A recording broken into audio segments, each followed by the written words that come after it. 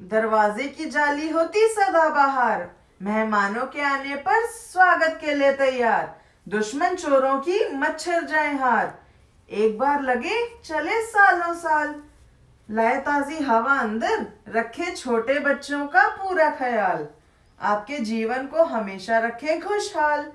जब झेले मौसम के थपेड़े, हो जाए इसका बुरा हाल।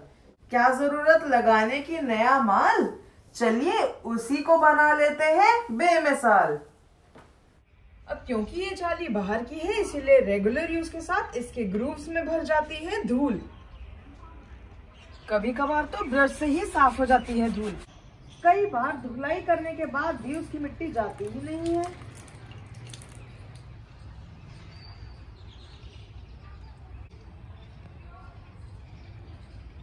अच्छा वो पीछे, वो है मेरा बारबेक्यू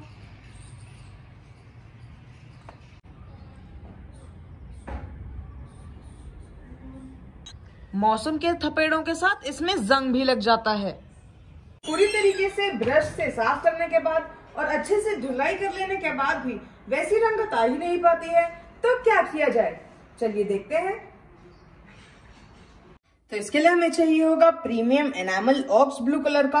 अब ये जो है, ये जाली को पेंट करने का स्पेशल आता है, क्योंकि ये बाकी पेंट्स की कंपैरिजन में काफ़ी थिन कंसिस्टेंसी का होता है।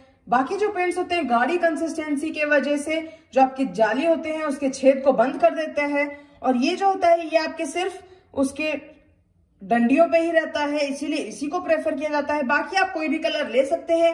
ये आपका बेसिकली आता है डार्क ब्लू कलर का।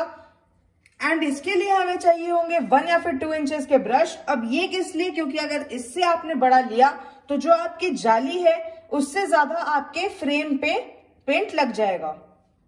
दोस्तों, चलिए देख लेते हैं इसकी कंसिस्टेंसी ये देखिए। सो फ़र्स्ट थिंग्स फ़र्स्ट मैंने इसके पर्दे हटा लिए हैं आसपास के। सो ब्रश एंड वाटर से हम अपने जाली को धो लेते हैं। अब मैं अपने वन इंच वाले ब्रश में बहुत ही थोड़ा सा लूँगा। आप एक साथ ज़्यादा लेने की कोशिश ना करें, उसको भी अच्छे से पोछ लूँगा। ताकि हमारे ऊपर एक तो छिट्टा ना आए और बहुत ही कम इस पे रहे और फिर इसको ऐसे रंग लूँगा। ध्यान ये रखना है कि आपके वुडन फ्रेम पे ना आए। ये देखिए, अभी से ही रंगत आने लगी। अगर वुडन पे आ जाए तो तुरंत पोछ ले और आपको ये ध्यान रखना है कि बहुत ही कम लेना है, ज़्यादा लेने पे आपके ये होल्स बंद हो सकते हैं और पेंट नीचे भी गिर सकता है। ये देखिए, कुछ इस तरीके से आपके ऐसे छेद बंद हो जाते हैं। तो ऐसे केस में आपको इसे खींच खींच के खींच खींच के पूरा अच्छे से डिजोल्व कर लेना है।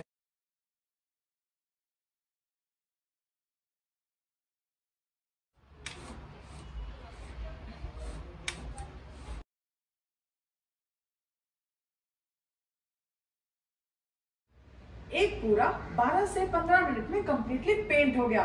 और रंगत तो देखिए, आधे घंटे सूख जाने के बाद आपका ये एक साल के लिए पूरा कंप्लीट हो गया।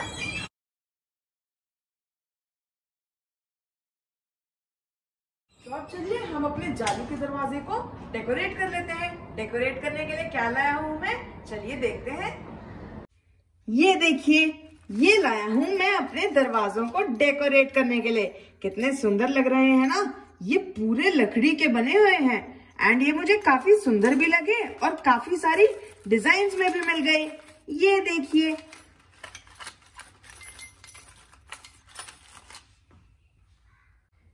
देखिए, बहुत सुंदर और हैंडक्राफ्टेड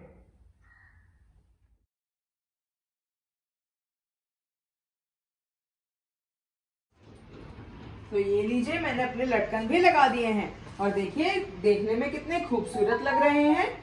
ये है नाइट लुक।